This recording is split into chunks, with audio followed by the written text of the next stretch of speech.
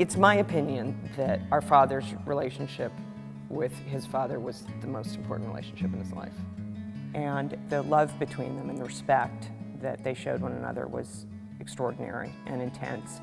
And as our father moved away, went to boarding school, college, went to war, moved to New York, moved to Europe, the two men kept up a very active correspondence, and the letters really show this extraordinary relationship they had.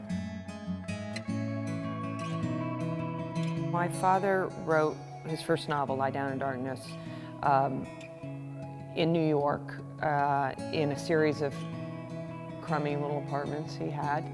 And he wrote to his father at the very end of writing Lie Down in Darkness, and he writes, I've thought of you every day. I'm working so steadily on the book, and time passes so fast that I find that I'm neglectful of almost everything, including correspondence. Forgive me. The book is a chore and a delight. A chore because it seems that it's a weight that I'll never get off my shoulders after having written on it so long. A delight because now, having written almost all of it, I can truthfully feel that I've not only written a novel, but a good novel, perhaps even a really fine novel. And I hope it gives some people a pleasure in inverse proportion to the pain it's caused me in the writing. That would be a lot pleasure.